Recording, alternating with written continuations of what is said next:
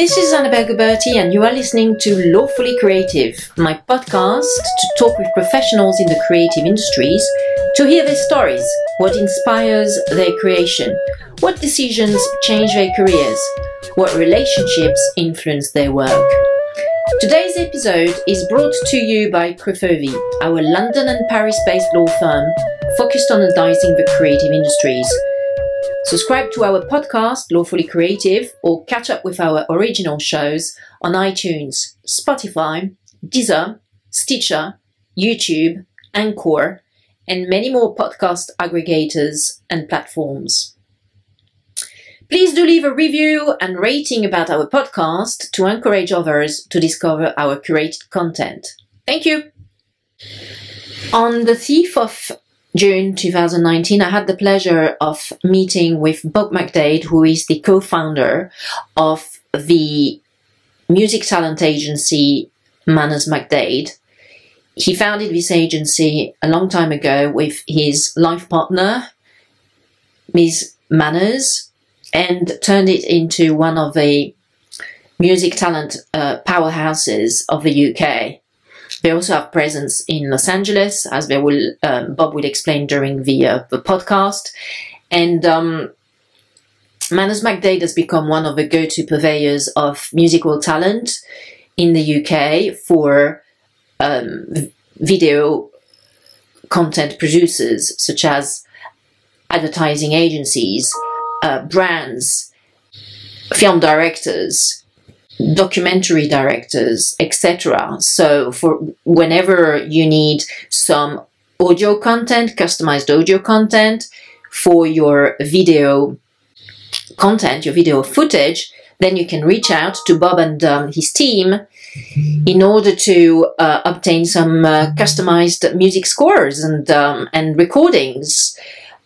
So yeah, it was fantastic to meet up with uh, uh, such a, um, a, prestigious member of the UK uh, uh, music industry. And I had a delightful time with Bob on the 5th of June, as you will witness by listening to the following podcast. Oh, do you want me to start? Okay. Hello, podcast listeners. I am. I have a pleasure of being in the presence of the imminent Bob McDade, uh, co-founder of the film music and advertising music agency, Manners McDade, that he co-founded with his wife, Miss um, Manners, Catherine, Catherine, Catherine Manners. It's a delight to be in his presence because he's a man who, who, who has a lot of knowledge on uh, on this field.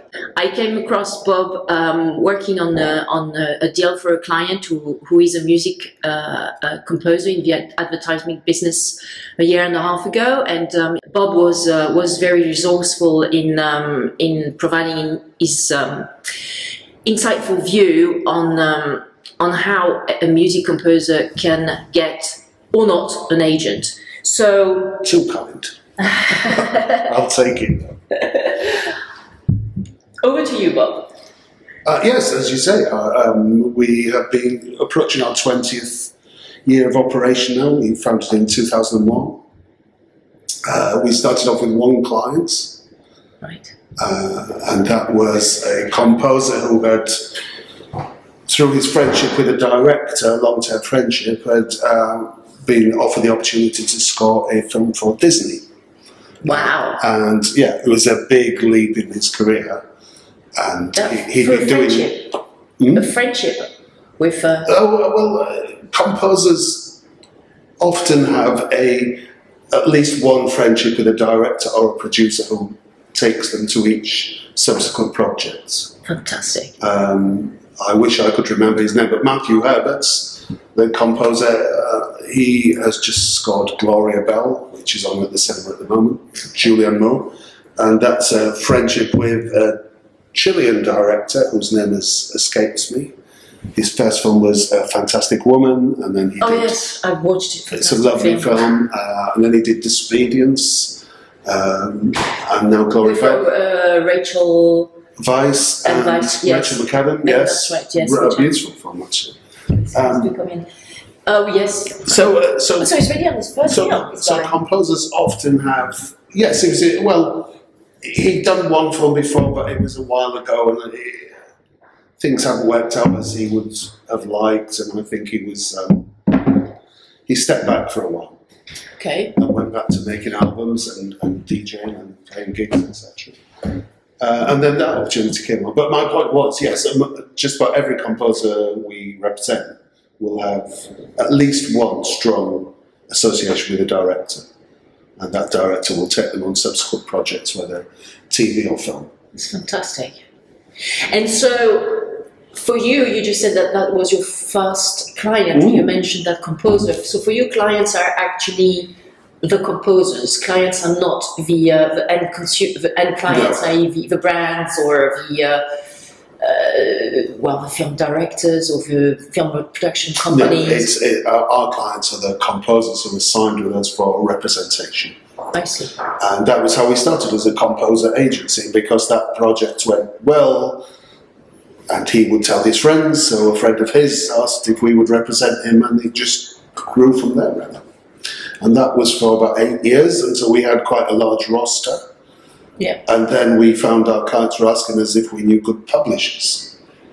And there, there aren't really any specialist publishers in media music. Okay, so would you mind explaining to us in, in lay terms, layman terms, what that means uh, in the context of film music compositions, publishing? I mean, would, would that be like managing the relationships with the likes of PRS, the Collecting Society absolutely. for for um, um, uh, basically composers and, lyri- and lyricists, I Yeah. suppose, and, and also ma- making sure that the royalties come in and are being paid on a But it's also, it, well, because we also then go to publish them, then our relationship goes all the way through the commission. So we would start off with uh, negotiating the actual contracts for the job, contra- uh, negotiating the, the terms and conditions. But that would be the agent's job. That would be where, that as well. And then we would change our hats to be the publisher, and then you would negotiate the publishing terms on the film or TV.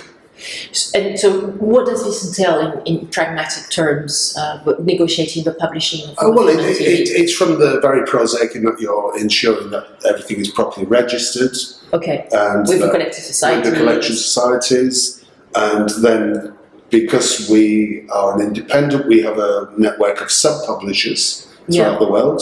like music, music sales. Uh, usually, usually companies we usually look for independents like ourselves. okay, In Paris, we work with Vel- Velvetica. I don't know if you've come across that in your work. Okay.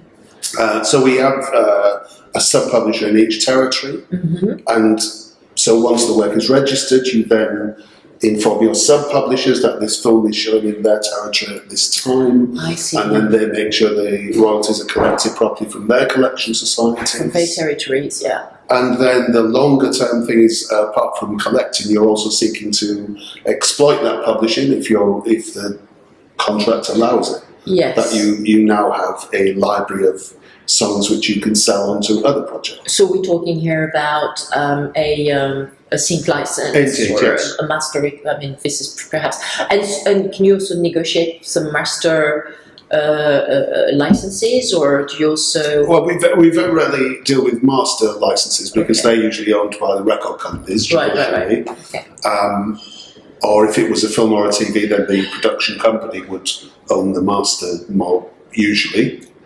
Of course, yeah. Uh, so we, when we sync, it's obviously a good idea if we can also clear the master. Because if we get a brief and we put tracks forward, the nightmare is they choose your track and then you can't clear the master. So you have to go to the Of label, course, and then the label. Dis- It's a mess. it's well, it's often more of a problem with much smaller labels because if you if you're doing a, a sync, it can be anything from five hundred pounds to fifty thousand pounds. If you have a small struggling label suddenly thinks there's a big check here, Mhm. they can Play their luck. yeah, they can ask for too much and they can uh, harm that relationship. And because it has to move quite quickly, then the buyer will often just move on. If there's any delay, Of course, yeah. they will just go. Especially in the advertising world, it's, Yeah, it needs to be really snappy and Don't tell uh, me about Yeah. I think it needs to be done yesterday. Why, Um, why is it advertised in agencies always ring with the brief on Friday afternoon and tell you they need it first thing on a Monday? Oh my god, is that What- right? Yeah, Is that what they do? It's, Probably they do it on purpose. No? I, I have no idea why they do it. I think the week passes them by, then they they suddenly realise there's something they haven't done. I don't know, but they're notorious. for it. Is that a nice wine? But we still, um, it's very acceptable. Yes. Okay, good. Excellent. Thank you. What so going, going right back to the beginning, we started Yes. with a single composer. Uh, then we built our composer roster over the next few years. Then some of our composers were asking if we could recommend a publisher. We looked around. We couldn't really find one which specialised in media music. So really? At the time? the Back time. the, like, what, the um, 90s, right? It was the Yeah. noughties, yeah? late nineties. Late 90s. And, and the reason we got the job with the composer who was writing for Disney is that Yeah. his publisher was being obstructive and demanding that they kept the publishing. Mm. But that, that, That's never, not gonna that happen never With happens the on Disney, big especially with Disney. Yeah, on Disney. Ah. On Disney. We had a phone call with a Disney lawyer I remember well. Uh, and he said if we would forego one aspect of the rights, we could keep all the money that was collected from the cinema box office in the States. That might have passed us by because we were relatively inexperienced, but I'd worked for Performing Rights Society, PRS, and I knew that they don't collect at the box office in America. Mm. So he was just trying to. And we confronted him with this, and he laughed and he said, Look, I work for Disney, I have to get the best deal I can. He just laid it out the reality of it, whereas we were, as we do now, we try and build relationships and be honest and straightforward. Mm. And he was saying, Don't make that mistake. When you're dealing with Disney or Universal or Warner's, you know, they're, they're just looking for the best deal and they don't really care how you do this. It's not It's, um. I read the um, a, a- book about the the um, foundation of CAA, the uh, Mhm. creative agency, which of course is, is massive today. And um, one of the uh, founders, Michael, named Michael, I can't remember his surname, but he actually moved to Disney at some point late, later in his career, and. Um, uh, he didn't really like it, so his, his, his wife, ex-wife, actually reported uh, a, a, a joke uh, one of the famous directors who who, um, who had dealings with Disney said, "So how is it like uh, working for uh, Mousewitz?" That's yes, that's cruel but fair. And I read that, I was like laughing in my bed. I couldn't help myself.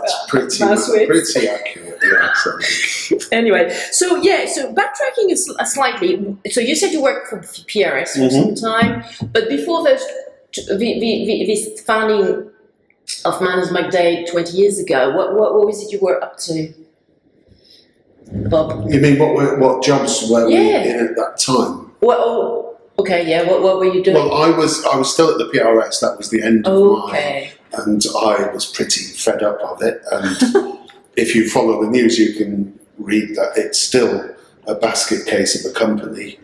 It's still having major problems. They've just replaced the chief executive yet again.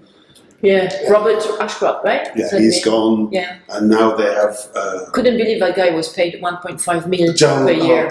I was like, don't. well, and, and someone told me, yeah, but he's got to pay for his divorce, right? I was like, yeah, well, it's a lot of money, though. Yeah, absolutely. It's unbelievable. Um, I, in the end, Why do you think it's like uh, it's bad? I mean, look at the, the Spanish guy; it's terrible. They just got fined actually by the they, antitrust because they have no competition. It, it, there's no Right, competition to PRS.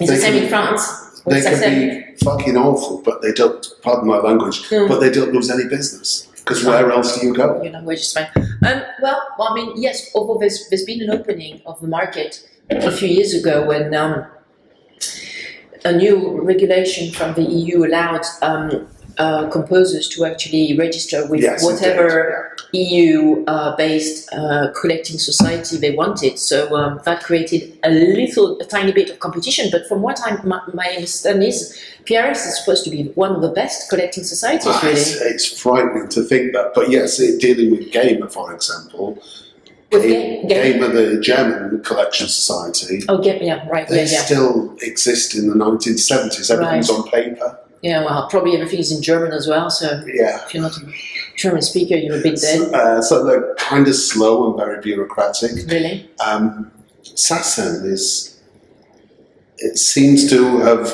reinvigorated itself. Interesting. Yeah. With Jean-Michel Tronc? With the Yeah, new guy? They seem to be much more on the ball. Wow. Oh yes, I, I- I went to um, uh, the, the Mama two years ago, and they were showing the new um, so- software for um, for uh, members to be able to check their Yeah. um, statement. It seemed to be really on top of uh, everything IT uh, And, got, um, and now there's Impel with a digital rights collection, Yeah. and that's yes, kind right. of that's taking it swept the rug from underneath PRS because people are saying, okay, we're going with Impel instead, Uh-huh. like we do. Okay. So, so yes, hopefully the new chief executive will sort it out. She's from a purely business background. What's her name actually? I never. I can't remember. Okay. Sorry, I'm not even sure she's in position yet. I read the press release. It's, it's, it's she's completely from outside of music. Yeah, but it's happening at the moment, right? I think Yeah. uh, Robert Ashcroft is just about to leave. Yeah, Yeah. yeah. So it's exiting, Um, but not quite yet. Right. So it's interesting times. So hopefully, because she's from a purely business background, yeah. and I think sometimes they get too tied up in the idea of it being part of the music industry, Mhm. which it is, strictly speaking, Yeah, For sure. but it's more about data and money. Nowadays, yes. It's, it's forget they have no creative input, so why do they continue to pretend they do? I don't know. So I was, Yeah. I was, so I was working for them almost In which capacity? Where, where were you? In which team were you? Oh, they, they um, asked me to do their marketing because they'd not done any marketing Mm, at all. okay. And their entire approach was to send letters to people saying, you, you play music in your shop, you must buy a license. If you don't, you'll be Fair enough. Yeah. So it, it was It's all. not very good marketing, but It was all point. it was all stick and no carrot, basically. There was no sense, and, and we tried to add value and say, okay, explain Okay. why it was advantageous to play music in your business. And we are, I'll take credit, we um, commissioned academic research into the effect of music in various environments like restaurants, bars, shops, Excellent. uh, which was very successful. Um, simple things like if you play classical music and then ask people whether what their impressions of it, they give a much more favourable impression than if you play drum and bass. Right. Si- really simple stuff, and they you can find out how you can make people move around a shop quicker, or For music. yeah. So there are ways you can use it subliminally.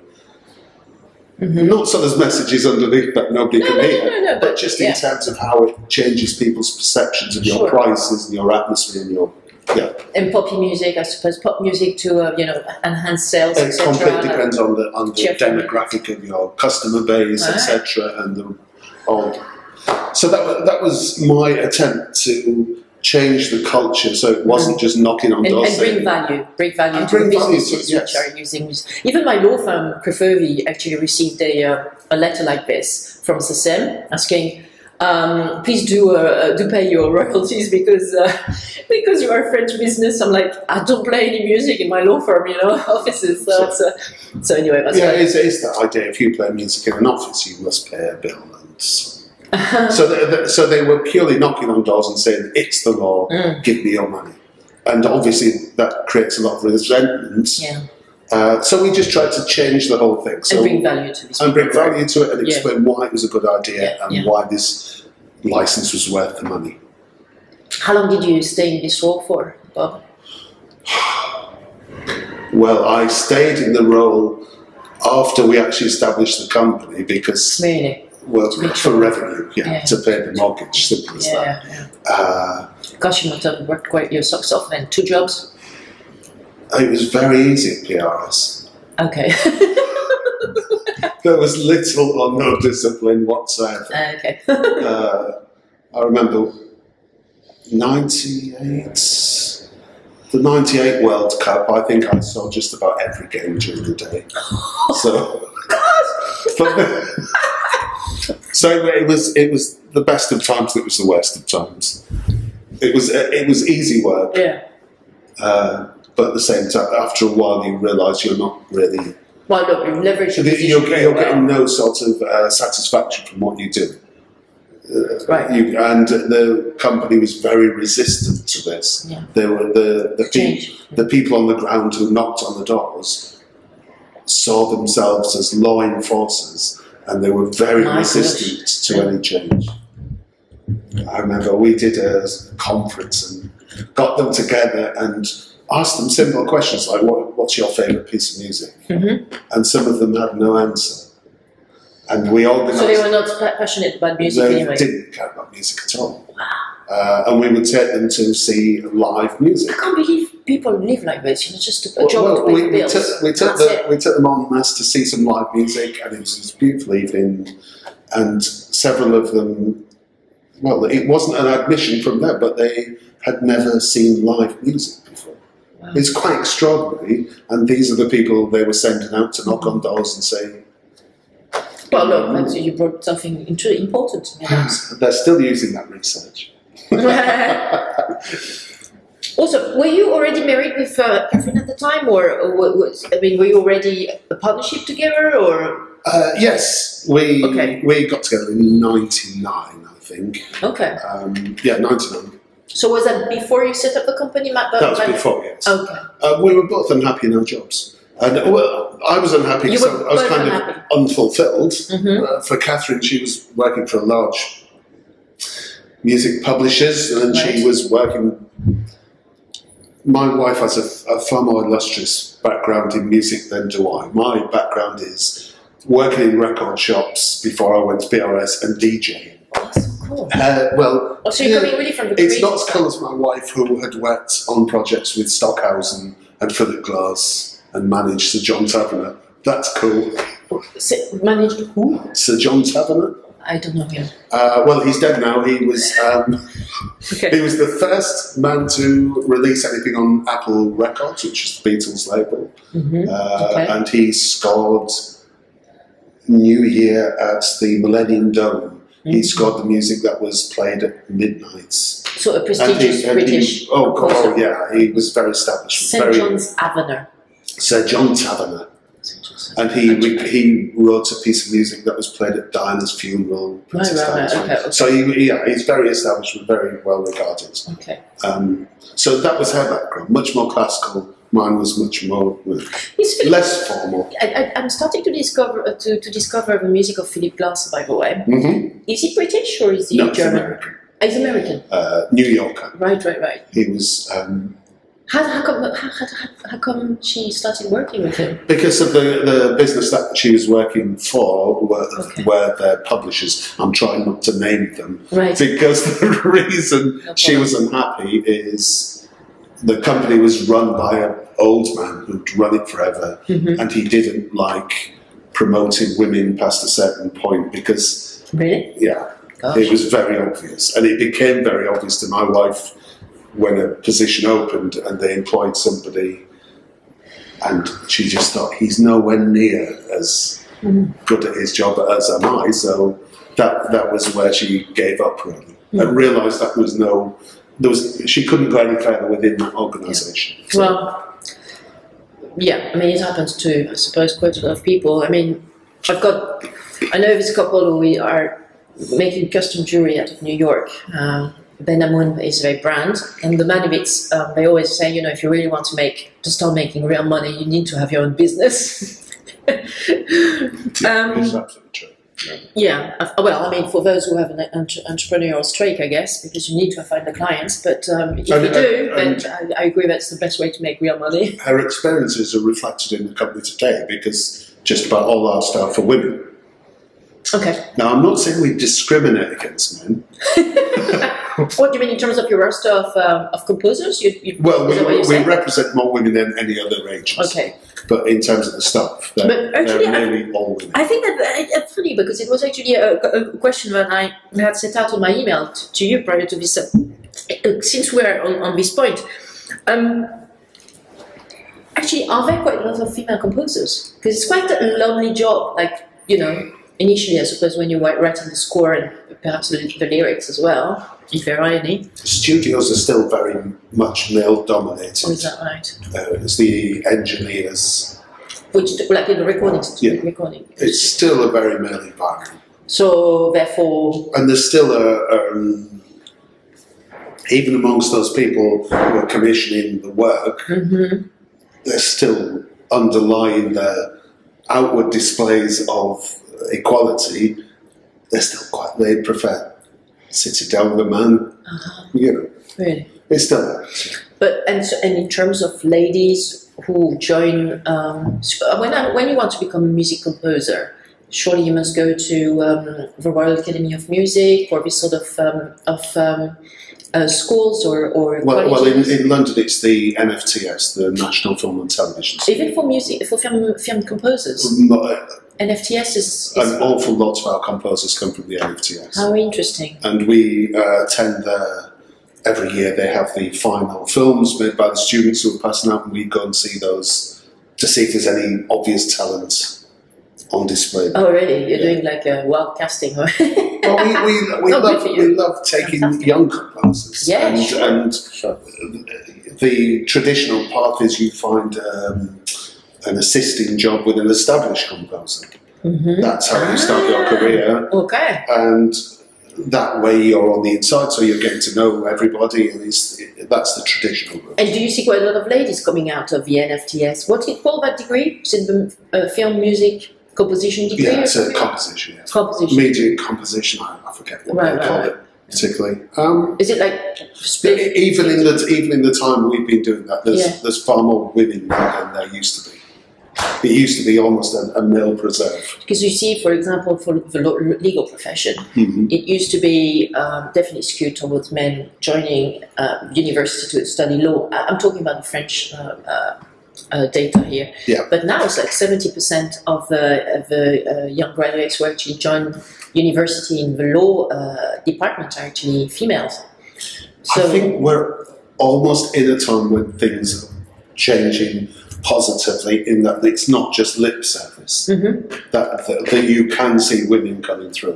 yeah, okay. And even though even the most sexist of men understand that it's no longer in their interest to you know what I say? discourage or undermine. What, what, what, what I always say is because I see it in my law firm, you know, it's um, the market will talk. You know, the market Yeah, will give you some some feedback. If they love what you do, whether you are a man or a woman, is irrelevant. If they just um, if you, if they just like what you do, then uh, then you, you're in. You know, Yeah, uh, so so that's that's the way. But there's there's interesting ways that industries will look to look to change things through the through the constitution. So they will say we must give.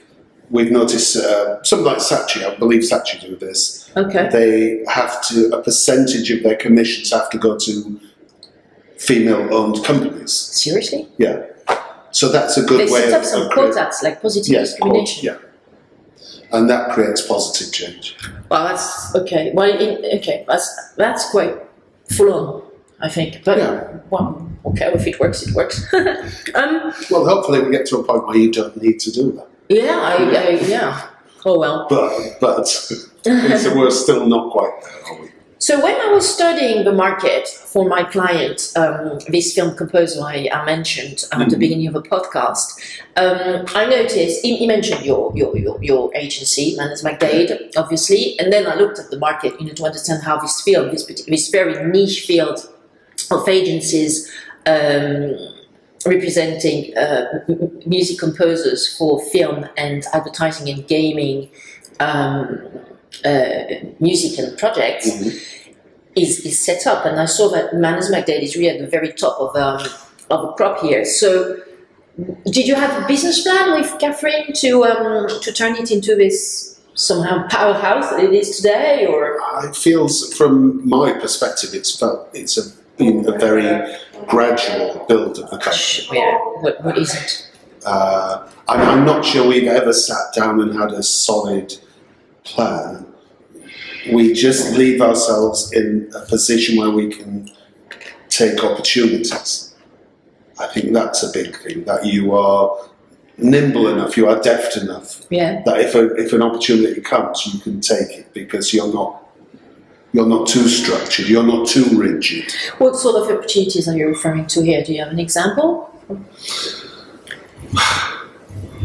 That's a good question. Uh, Like you mean you need a, a- a commission coming in, or I, I suppose sometimes we, we've been asked if we can involve ourselves on a project that we have no real experience of, okay, and our, we don't really think about it. We just say yes, we can do that, and then we go away and try and find out how do we do this. that's daring. uh, but it keeps it interesting, and it keeps you. Like, like what, for example? Say we have a show, Well, live show, and we need you to um to do work on the music background of it. Is that, for example, a sort of um, brief you would Well, get, uh, going into book publishing, we've done some book publishing. We know nothing about book publishing. We're not from that background. But a Okay. client asked. He said that was a stipulation that of his contract he would sign with us if we could facilitate making this book for him. what, a book about what? Uh, it was sheet music with pictures and art in there, and so we just said yes, of course we can. And then afterwards, You what the hell are we going to do? How do we do this? Who do we know? Yeah, and you just start.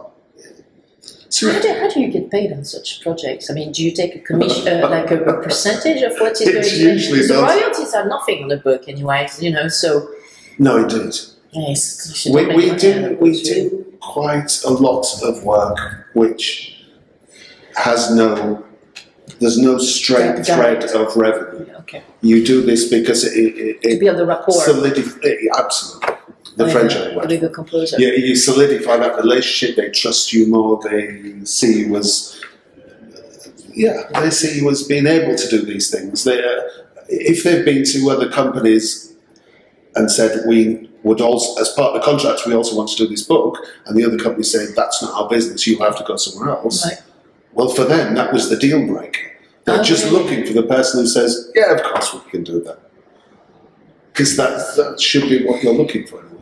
In your so you, you you- mentioned thank you so much. It's, it's really interesting to not interesting, but it's it's really fascinating to understand how you make your choices. You know your your, your business choices. But so Ne- Neither of us have an MBA. We haven't been right, to you've business. got your intuition. and it, no, Gift of the it's- gab. uh, I've, for me personally, a personal thing, I didn't. I was thinking, will my mum ever hear this? I, I never really, I never really had a father figure who I liked. I didn't really like my father, but the guidance he gave me was, I would think, what would my father do in this situation? And then I'd do the opposite of that. And think, well, that must be the right thing to do. And it served me quite well. And we kind of, because my wife and I were both unhappy in our jobs, we think, well, what would they have done? I'll do the opposite of that, and that will probably be the right thing to do. so you are contrarians. So, contrary, well, I'm a contrary. My wife not so much, but I'm very much contrary. and it just means the way we treat our staff, the way we, um, the way we run our business is is a bit more joyous and a bit more happy and a bit more about thinking I want to be able to sleep at night. I don't want to cheat anybody. I want to be honest with everybody. Yeah. Having experienced those things where you put in positions where you're lying to a client when you work for a business because they say, no, don't tell them that, tell them this. Mm-hmm.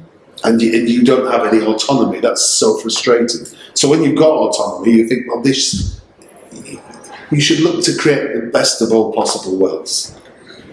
It's not about the bottom. We very rarely look at the bottom line. Yeah. We do the business and hope at the end Well, of the year. yeah, exactly. Well, you, you, are, you are lucky that it, it's, it's working very well uh, this Well, way. I, I don't live in a big house. Neither do But I. that's okay, but I Neither sleep I. well. I sleep well, and, and the people who work for us are all, uh, uh, we maintain relationships even when they leave. Well, we're very happy. Yeah. Well, and, and you, you, you, your, your agency is, is truly prestigious in the market. You're the, the young executive that managing director, but Mhm. you've, uh, you've uh, uh, uh, instructed, mandated your wife and, and you. I think she probably has has a business plan or an agenda, as you were saying. Oh, she, she wants does. She does, but She- she really, in her previous life, before she worked with us, Mhm. she remembered. I hope she won't mind me. She remembered every morning in the shower crying and thinking, "Come on, you can do this. You can do this." Or because she didn't like her job. Because she hated her job because her boss was a monster. Okay. Sorry again, anybody listening to this, but um, it's, again, it's just thinking I do not want anybody to feel that way Mm. working for me. yeah. They should be happy and Fair enough. supported, and yeah, Well, yeah, and she's very young as well, so it's great you give her such a. a she is, but she has Mandate. the energy which perhaps as people in our mid fifties we Yeah. kind of lack that energy and drive. She has so much energy and drive, and she's already very well thought of within the industry. Right. And What uh, her name again? Harriet Moss. She's uh, and our client, the age of our clientele is is coming down. hmm Actually, you were just saying down that your the age, the average age of your of your roster of clients is coming down. You were saying that you also scout, so to speak, at the NFTS uh, annual uh, do or or uh, like opening um, uh, show, and and so are these. I mean, how do you select those composers? Is it word of mouth or? It's completely based on our own perception of their work. So, it, do we like it? Is it interesting? But how do you get in contact with these people, Oh, there's, they're, peculiar peoples? well, we're lucky in that usually, unless they're already established and have relationships, usually they're desperate for us to get in touch with them. I know. And in fact, most of the time we don't have to because they get in touch with us. I see. So they come to you. Yeah, we, we get lots and lots of submissions. Okay. and within and we listen to everything that's sent in, which is Wow. some things you don't need to listen to for more than a couple of minutes, and you know it's not suitable or it's not of a certain standard or it's not for us as an agency. So it's quite straightforward actually finding. Do you know? clients. Actually, okay, great. And sometimes we hear, we hear somebody will come to the office and say, I saw a film last night, blew my mind, the music was unbelievable, and we just see if that person's represented, who they're represented by. Uh-huh, uh-huh.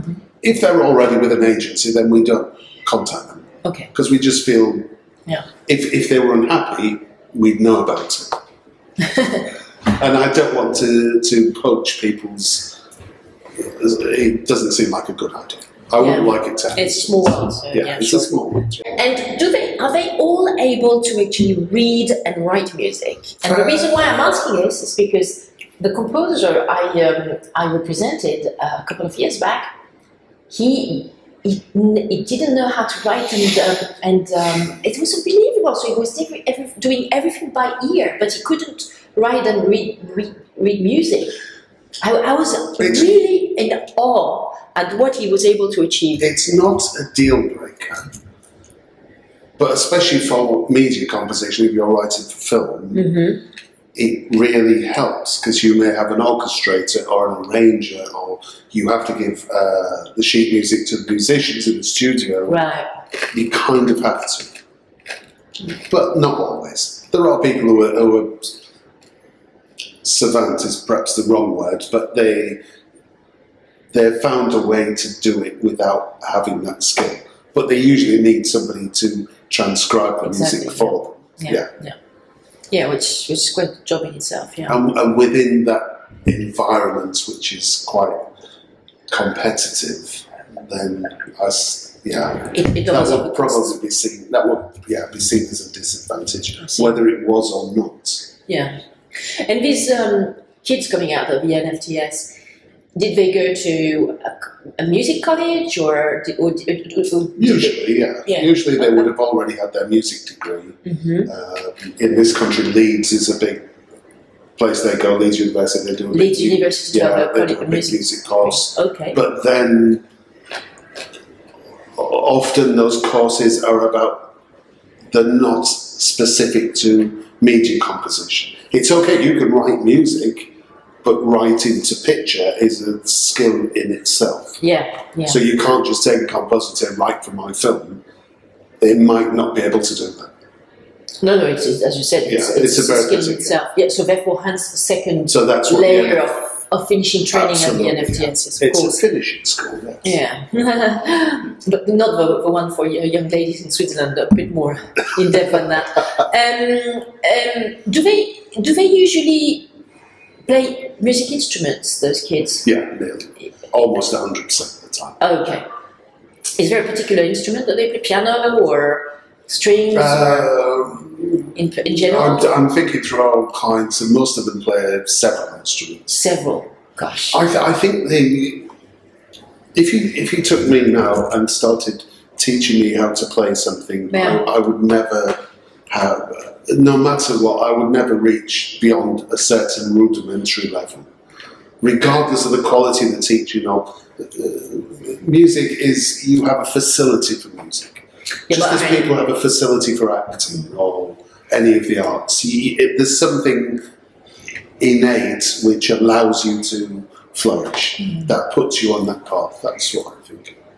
Yeah, I mean, I have two brothers, and uh, we, the three of us, we, we are all musically trained. Okay. Um, as, as far as I'm concerned, in flute as well as pia- piano, and we all went to music schools as well to learn music composition music, you know, reading, etc., etc.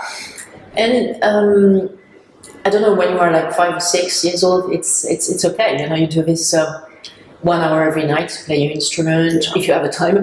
But um, it's also a lot of, uh, it, it, it, I mean, you, you learn the discipline as well. So, and it's nice extracurricular activity. Um, but you're right, I think it definitely needs to be done, uh, to be started when you are young. Can I ask you a question? Yeah, sure. That discipline was that discipline enforced, or was it innate in you that you thought, "Here's my hour for playing the flute," or was it a parent saying, "Come and practice the flute"? Ah, not in my case. Probably more for my brother Benjamin, where my mum had to say, "Look, you've got to play the clarinet here." um, It's just been decided. because your teacher has told you that you need to play one hour every night. Okay. Um, but as far as I was concerned, no, I, I didn't have to be to be pushed. But when when you were going to your weekly uh, teachings, the, the teacher would tell you you need to rehearse every uh, every uh, evening one hour. So uh, I gave you quite a you know high goal to achieve. But yeah. So okay, so these kids are really multi-talented. They Yeah. play several instruments. They can, uh, I mean, score, write music. Do they also write lyrics, or is that another skill in itself to write? Oh, that's a skill in itself. it's a skill. And, and also, I'd say you can be. The reason perhaps they go to the NFTS is that, in my experience, you can have people who can write music, but they can't write music to picture. But equally, you can have people who can write music to picture. But if you say, we, if somebody, if somebody uh, uh, applies to us to desire and representation, Yeah. we'll ask for their music Sure. what do you Very write when there's no picture? And quite often they have nothing They have nothing. because they are trained to write to a picture. Without that stimulus, they, they, They can't have a don't know where to go. Yeah. Yeah, they can't have I mean, there, there, are, there are plenty of our, of our clients who are multi-talented, who can write music for themselves or for picture or for whatever, but there are those who, who are very focused on media music. I think that was our experience. Your, your composer, Yeah.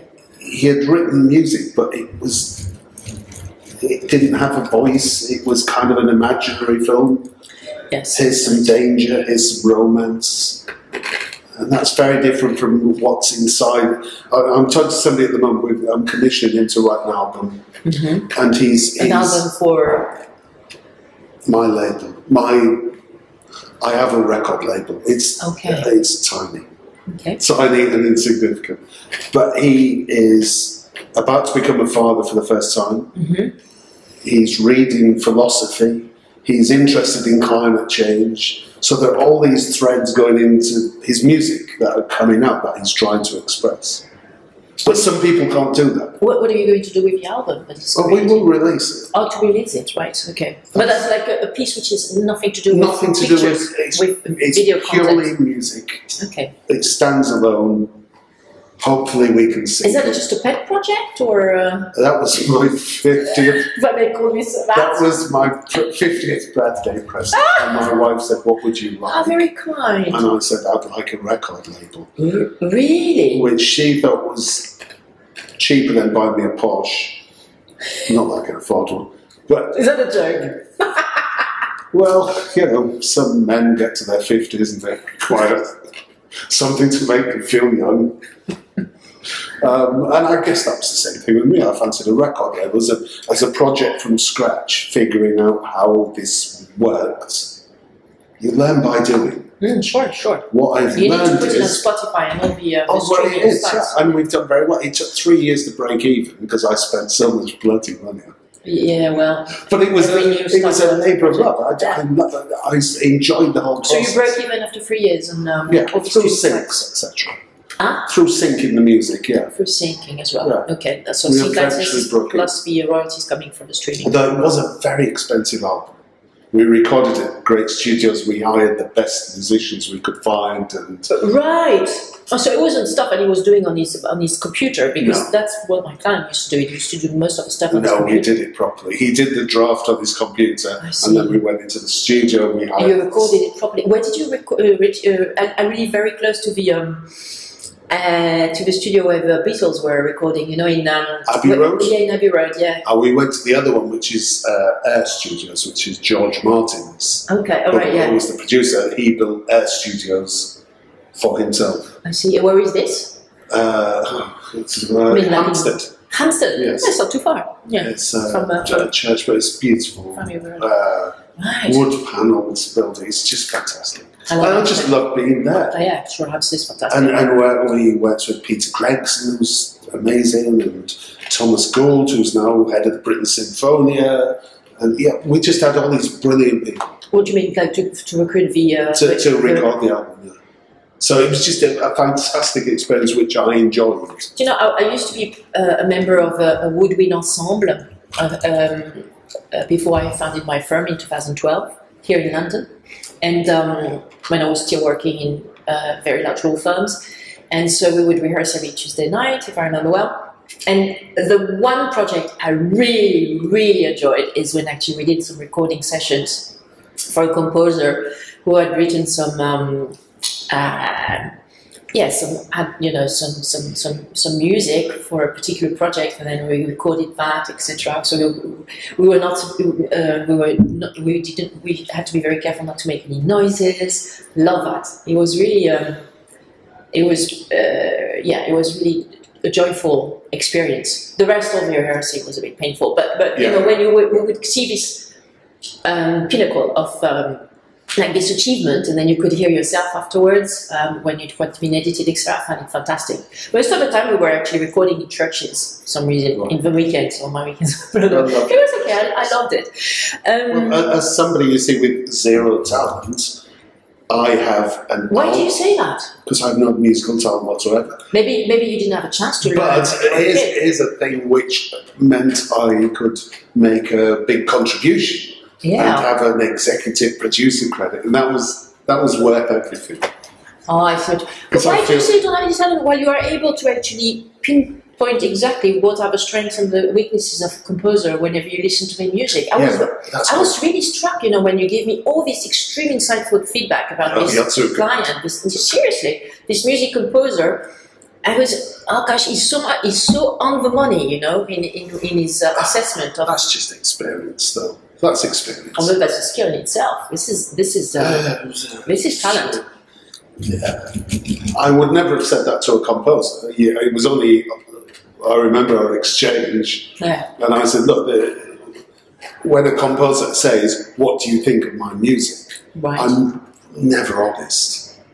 is it because we've got too much of an ego? Is it, well, yeah, yeah, you don't want to. These are people who've worked by themselves in a room by themselves and created this thing, and then it goes out in the world. Yeah. and to have some completely untalented, musically untalented guy like me say, I don't like that music, it's just, it's too cruel in a way. Because I admire it because they have this facility which I do not possess, so it's not for me to criticise them to their face. I think they've done something that I could not do anyway. Right.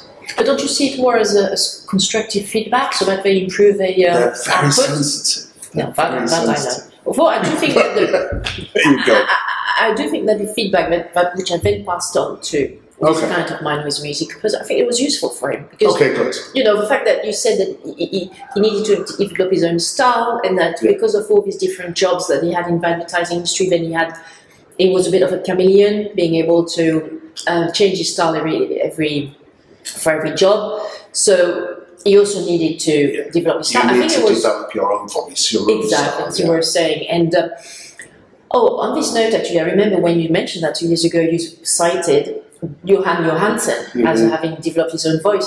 What whatever happened with this guy? Did he? Did he? Did he? It was an overdose, right? In Berlin, he overdosed. There's a, there's a culture with it. I'm not sure if it particularly applies to him, and I can't claim to. I know people who know him or knew him. yeah, I can't claim to know for certain. it was sad. but there's a certain uh, culture in music, uh, which is why it's been male dominated to a certain extent. Mhm. In the studio, it's like men boasting that I've been in the studio for 48 hours. I've been in the studio for 72 he- hours. Oh, yeah, yeah, okay. So As they if, as if there's exhaust nothing else. This is all there is. It's that male They exhaust fixation on one thing, which is not a, a feminine trait, if you'll forgive me for saying this is feminine, that is masculine, but w- women are not anal like men, in that they don't, yeah. So th- there was a great. Except Margaret Thatcher. Hmm? Except Margaret Thatcher. well, yeah, no, no, I, thinking. uh, there was this French musician called Renaud who actually made a song about Margaret, Margaret Thatcher, and it was like, uh, yeah, she's she's she's, she's more vi- vira, viril, Yeah, like, uh, yeah, than, uh, than, than any man around. But it was just a joke. So, yeah, um, it's quite true. yeah, uh, do you think this is what happened? He basically exhausted himself and probably resorted to coke Um, and uh, and bang, talk to himself. I think he was uh, taking amphetamines in order to stay awake for longer, so he could. Uh, I keep working. And like But he was he's quite a big guy, Yeah. so, so his heart eventually. Is that what happened? Oh, well, I don't know. I, I, I, Oh, you- you I just don't. I'd like to. yeah, Uh, I'd like to vocalise my disclaimer. Yeah, Yeah, yeah. I don't know. That's my best Okay. guess. Wow. Okay. Yeah. Thing is, I suppose that recording costs and you know uh, studio costs are pretty high, so it's probably why you, they sort of do it. It's, it's more an obsessional Is it thing. really? Yeah, it's more a, a mad obsession. Okay. It's like the the. Uh, it's a funny. It's a funny story actually. Um, when the uh, uh, income tax rate um, uh, uh, went up seventy percent. Uh, as I'm sure you know, the Rolling Stones immigrated to France, right? Yeah. And they went to this uh, uh, French villa, which is on the peninsula of um, uh, uh, Saint-Jean-Cap-Ferrat, which is a very, very uh, smart and posh neighborhood of south of France. Absolutely. Saint-Jean-Cap-Ferrat, and they were in this this villa, but they were playing and jamming up until five or six in the morning. So they got kicked out of the residence. The local residents just couldn't stand, uh, you know, they just couldn't stand it. They were on drugs all the time, and they were jamming. They actually they were starting working at one or two a.m. And they would just work the whole night, record the whole night, and so after after uh, one or two months, they, all the residents just uh, kicked them out. that was the end of the exit in France, the exile in France. It's a miracle that they have managed to survive. Oh, I saw Ronnie. I saw Ronnie, the Ronnie, Ronnie Wood Ronnie Wood in the street, uh, actually on the South Bank uh, with his young wife with his young wife, and his his young two baby. years old uh, uh, um, uh, twin daughters, and they were going to, to, to the Tate two It must weeks have ago. all had mass organ transplants or something. How are they still They were walking the cute. They were cute. They were cute. Um, anyway, so how so how how is that? So I understand the supply chain on the um, on the creative side in terms of you finding all these composers and nurturing their skills, making them find their own voices. But then, how does it work in final uh, in terms of finding some assignments for? Um, so, do you work mostly for independent film studios or film production houses, or also for majors, Deep the Disney and Universal and Warner of this world, or Sony's of this world? Perhaps it, uh, I think a circumstance that has changed massively over just the last few years Right. is that previously, unless you had an LA agent, you had no chance of working in LA. So you, you the, the director might want you, the producer might want you, but if you're represented by a, a- an agent in Paris or Berlin or London, Yeah. they're not interested. You- have to have an LA agent. So that was always a bar. Is there a reason why they are like this? Well, it's an industry town. It looks after itself, doesn't Yeah. it? One thing that I noticed when I was in LA um, two or three years ago is that it's very. Uh, it's, it's a microcosm, and Oh. they just they, they it's, it's a space. I mean, I'm not. Well, no wonder it's called Los Angeles. You know, the Angels. That's Yeah. that town, but it's very spacey, and people are very um, in, inward looking. You know, and, um, they're a bit scared of the rest of the world. Um, and also because of the difference of the time zones with Europe, it, it- they, they seem to be really like in their own world and floating, you know. On the and I love it because I'm, I'm myself quite, you know, a bit spacey sometimes. and up there in the in the clouds, and um, uh, but but but uh, so I love it. But I did notice that they were not the most interested in the rest of the world kind of people. So Everything is in LA. Yeah, yeah, Everything they need. That entire infrastructure is local, and so there they keep it that way. But that has changed because the major studios are, are not yet being usurped, but so much work is coming up. Netflix and Amazon Sure. and Google is starting, and Apple are going to start. But, but these guys are they are headquartered in um, in Burbank Yeah. and um, and uh, Culver City and everything. So But are uh, they more open minded? oh, yeah, Okay. in terms of where the if, if you look at the what Netflix and Amazon and all the rest are producing, Yeah. it, it's much more international. Well, they go on all the film markets. I mean, it's not complicated when you whenever you go to the Berlin Berlin Berlinale and the Berlin Film Market or in Cannes. In the first week, the Netflix and Amazon Prime of this world just do their markets and they take all the best Yeah. um, the best content.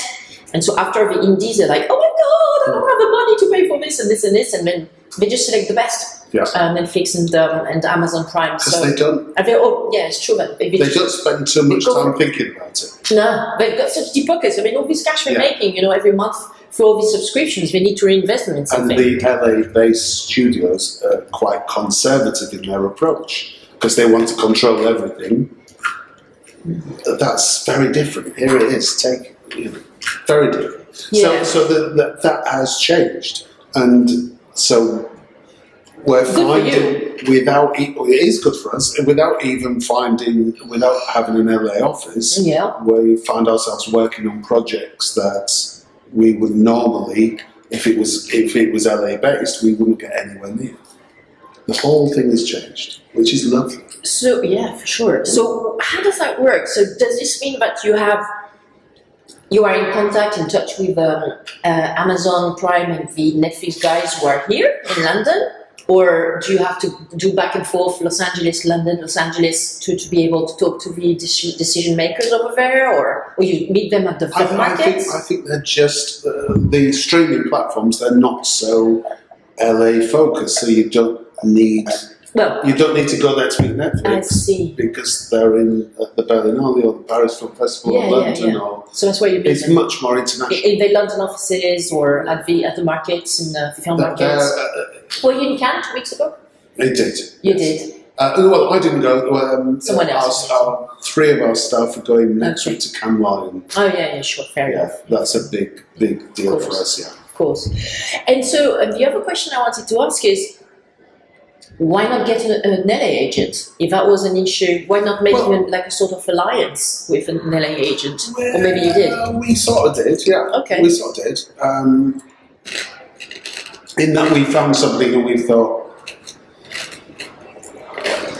because LA is a, a it's It's tough, huh? it's so tough, and everybody's just trying to they will trample over Yeah. the bodies of their enemies to get to what they want. Yeah. And it doesn't really go along with our ethos of Yeah.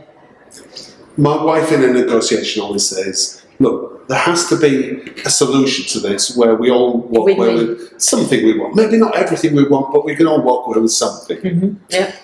Whereas there it's much more dog eat dog and Right. I want everything. Super. Type, It's aggressive and type it's, A yeah, ma- ma- yeah. ma- ma- male approach. Yeah. Wow. a male approach, yeah. And again, that's another reason why it's changing because it is becoming. I mean, underneath, who knows? Maybe it's all men are still in control of everything anyway. But you do get the sense that women are getting more opportunities within the business. Mm, yeah. We'll see. We'll see. It may, Oh, be- no, it may I mean, ju- it may no, just, just another way. About, I'm not saying no, I'm, I was just thinking about what you were saying. I think that what I noticed as well is in the um, creative industries, especially in music, probably in films as well, Mhm. is that the, the top management is still very much trusted by the baby boomers. Yeah. Who have a, like, I mean, Seymour Stein, for example, who actually was the, the guy who, who, who, you know, who scouted and found Madonna and gave her a first um, uh, uh, trump, trumpet, yes, yes, and, and, and also Ramones, etc., Yeah. etc. So this guy is a dinosaur of the music industry, but he's well into his eight, late nine, 80s, probably, yeah, late, late uh, 80s. Last time I, I heard him at MIDEM, I mean, I could just see that his mind was no longer functioning properly. I was like, this is embarrassing. This is this is really embarrassing. Some someone needs to tell him that he needs to retire and do something else.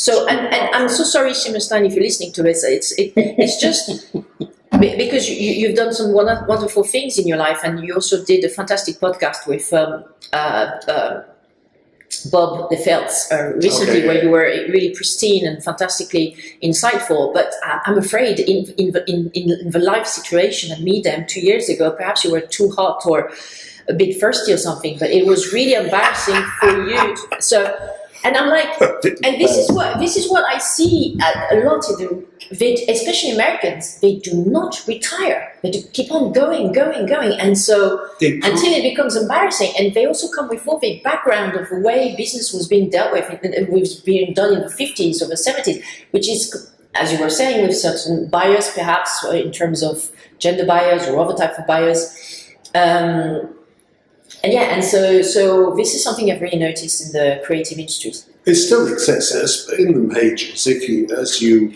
make your way up through the floors, through the hierarchy, you usually end up in a room full of men who are older than me Right. Okay. because they've been there forever Yeah. and they're not going to move anytime soon. And they're the last people you want making the decisions. Seriously, Yeah, really. because they are. They should oversee things. Yeah. We, we are, we are not. We are not Is that what major. you We are not a big company. Yeah.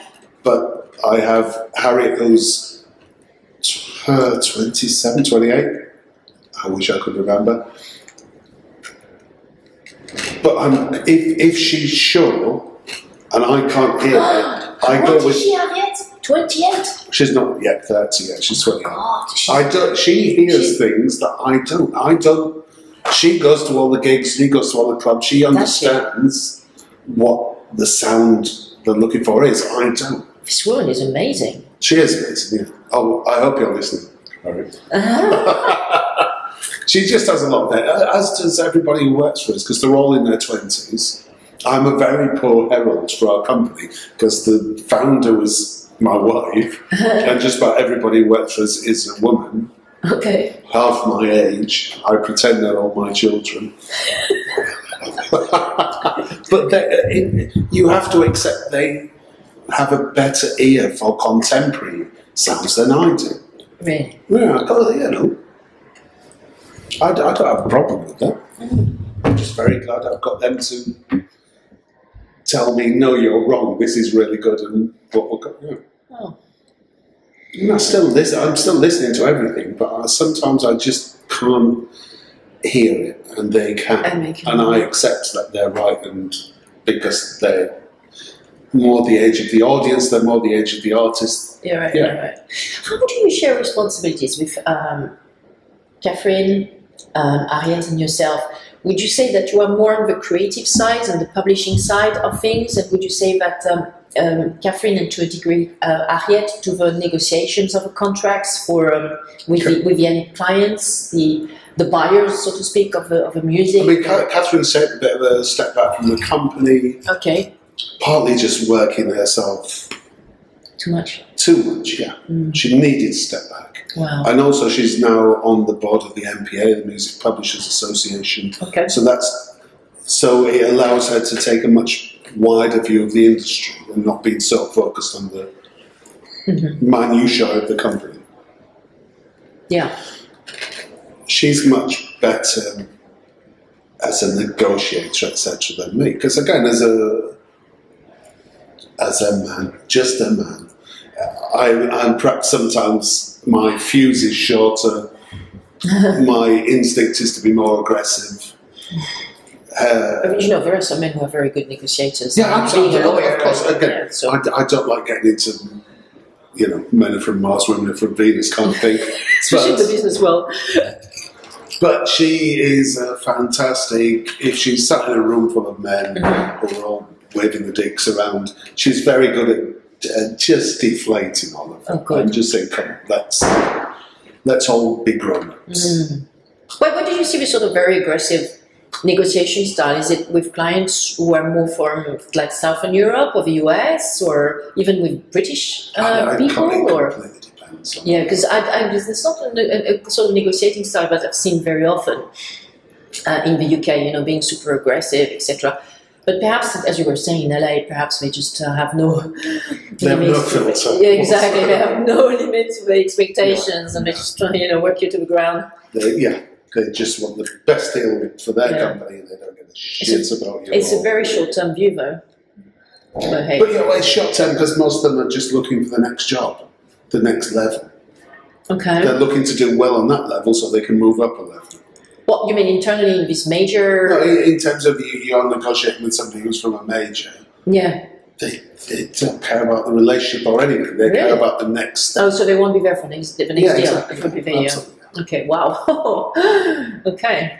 Um, fascinating. Um, and so, stop me if I'm, I'm going into something which is just too private. But how do you make money? I've talked about this. I mean, how do you get That's a good question. No, seriously. Well, Where, we- where, where, how are the gen- You have a contract with your clients, which is for you take a percentage of their.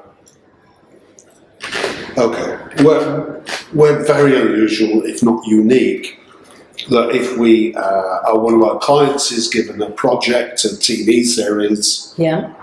they get a music budget. Now, usually the agent takes their 20% off Yeah. the top. Yeah. We take what's left after they've recorded. And pay themselves. This is very poor business because sometimes they get so involved in a project they spend the Right, entire okay. bloody music So you're so you're saying that you get twenty percent of what's um, left after they've paid for all the uh, music what- production that's costs. oft- that's often what we do. Yeah. I know it's stupid, and there's every other agent's going, "What the?" But it's just yeah, we're still here after 20 years. Is it, was that always your business model? Yeah, pretty much. Because it, because we desire to work with people who who have a passion for it. They're not just doing it because it pays them money, and they're not just taking projects on because it pays them money. They want to do the best job they possibly can, and sometimes that means they spend the entire music budget. God. So we so we don't earn much off that. So basically, what you need to do as a good skilled negotiator and shrewd negotiator is to make sure that you have a large music budget. Well, yeah, as, as large as possible, and you try and manage the budget and Yeah. say, look, you're spending everything here. Mm. But if if they get a, if they're really involved and they really want to, well, we let them do what they want. So what are the biggest costs? Is it the soft, the cost of the software, of the licensing of the software, or is it the cost of hiring the session musicians? Yeah, it's the musicians, the studios. But why the don't they just do it? Uh, they can't do it on uh, on um, on uh, using software to the recording of the music. Well, they, it depends on the budget. Okay. If, if, if, there's, if you say, okay, we've made a film and our music budget is £5,000, well, you're getting something that comes out of a laptop. Yeah, If you if you want musicians in the studio and Yeah, a full five hot mix, you're going to have to pay ten times that yeah, of course, to get anywhere near it. Yeah. of course. And so, do you usually often use those studio recording studios of the AIR recording studios? Uh, AIR is quite it, or- popular with our composers. Yes. So you've been very long, many times with your Yeah, I suppose, your, yeah. your composer. Okay. It's- you Road sometimes or never? have I? Well, do you use the Abbey Road studios from time to time? Uh, really? people have used it, yeah, Yeah. absolutely. Okay. Uh, but then there's uh, because budgets aren't what they were. There are much smaller studios like Urchin Studios. Okay. Um, so yeah, it, it come, uh, some people do it. They have their own studios. Mm, yeah, it's becoming very popular. Yeah, A lot of bands today and, and have their own technology allows that because Correct. yeah, which is awesome. I mean the. It concerns me slightly the, qual- the quality of the samples Okay. coming out of Spitfire. Okay. if, if you're skilled at, at, at tailoring them, they can get very close. So people in our office will listen to something, and you can say, "Is this a sample or is it strings?" And they really struggle to tell sometimes. Wow. Five years ago, Mhm. they would know immediately, Okay. but now it's kind of where is that? So the technology in the AI is becoming better and Yeah. better. Uh, well, that's good for your business to decrease the cost. There's so much more pleasure in hiring musicians and doing that big collaborative thing, and it's more organic. Well, you can keep that for your record label. yeah. oh God, you could spend so much money making an album. It's untrue. So yeah, absolutely, I agree. But it, there's something about the process. Okay, you, you, you get commissioned. We want you to score this film, but we only have a limited amount of money. Mhm. So therefore, as a composer, you can only do so much Yeah. if you want to write with strings and organic instruments and mix that with electronics, it costs a lot more, but the process itself is so much more satisfying. Uh, I, I went to uh, Do you take do you take part in this process? Do you go to the recording session? quite often, yeah. You do? You enjoy that? And it's Yeah. to support the. I mean, several members of our staff can do music coordination, so they can help with the with that. Also, the composer just likes the fact that you've turned up and you're Do they- offering support, so they're not alone. Okay. There's lots of things. It's just small incremental things that you add to the process that makes it easier or happier or yeah. We support them. That's awesome. So And also, the people in the office love going to these. Sure. I mean, studios are usually beautiful places to be. Uh, there's a rehearsal space off Bond Street called Music Rooms, okay. which I went to for the first time. I didn't even know it existed. Right. And there's a Probably door next to away. it. Yeah, and it's this beautiful Georgian building with these wonderful windows, and it's just a plain room like this one was sat in with wooden floorboards. And there were three cellos, two violins, and they were just rehearsing because they were going to record an album a week later. And it's just, and it's beautiful. Yeah. It, it adds to the quality of your life rather than sat in front of a laptop by yourself. Of course, of course. Yeah, yeah. I mean, sh- sh- sh- as I was And all saying those before. musicians are being Yeah. hired, and Yeah, for me, yeah, it's just it's the lifeblood of the whole thing. Exactly, exactly. When I was at the Woodwind Ensemble, I had also this sense of achievement when, when I was Yeah, doing those recording sessions. So even for you, even if you're not playing the instruments, I completely understand that it's like a, f- a real sense of fulfillment when you can see everything materializing and doing this Yeah, absolutely. recording of his, this composition, etc. Um, it's this question is completely coming out of the blue, but I really would like to pick your brains about this. Dear. Do you do you like uh, Yorgos Lanthimos, the guy who's done um, all these weird films? Um, I think that's his name. He was in actually a member of a jury uh, uh, in Cannes Yeah. two weeks ago. So he's this Greek director who uh, mainly makes films in, in, in the UK actually, and Yeah. probably was trained at the NFTS. There's no money in Greece for making films. And so, and he's done really gems. Um, uh, the Killing of a Sacred Deer. Yeah. Uh, the one we just done with the three ladies, I'm desperately trying to, to remember the name of it, which The- fantastic. And the- just watched it twice. It won the bloody Oscar, didn't it? And, uh, It's yes, of course, with um, uh, um, um, Coulson. With, Oh, um, what is the name of that film? one, yeah. And the one before that, I remember seeing that was his Yes. first one. Um, This weird island. Killing of a Sacred Deer, so the, yeah. B, B, uh, the BFI Film Festival last year. Oh my god! And so my point is uh, that in all these films, the music score is are so weird. The music is always um, stressful, completely off uh, offbeat with what is happening on it's the. to unsettle the listener, isn't it? It's- Yeah. So, what do you what do you make of this technique of, of unsettling the uh, the viewer of, of his films by having some some some uh, music which is completely either unrelated to what is happening on screen or um, really weird? Well, it becomes instead of enhancing or instead of embellishing, Yes. it becomes a feature. So you can't ignore that music. that's for, for, for sure. it's in your face. Yeah, it's very much in your Yes. yeah. It, I don't. I guess there's a place for that, and his films is the perfect place for that. Yeah, yeah, yeah. They're, they're quite unsettling themselves to, to see Yeah, it, it adds to the overall. Uh, The overall favourite. of the, the, The favorite. Oh, Oh, gosh, I love that film. Oh, thank you for that. Yeah, I would have gone favourite. mad not thinking that. It was, uh, and yeah, okay. So that's like a technique. It's a technique to um, basically perhaps to push the emotions of a, of a viewer, of a There are, there are very few. There are not many directors who really understand music. Well, I think he's one of them. He's one of them. Yeah, he's. Yeah, absolutely. It- and it is because you think, my goodness, mostly It's not sexy. His music is not sexy. because these are visual artists, so they're not. Yeah, It- it- it's rare they have a strong sensibility of, of music and what music they want. Mm, mm. Because often we come to a project when they make a film, they will uh, add a temp track. So they will, the editor or whoever will choose music that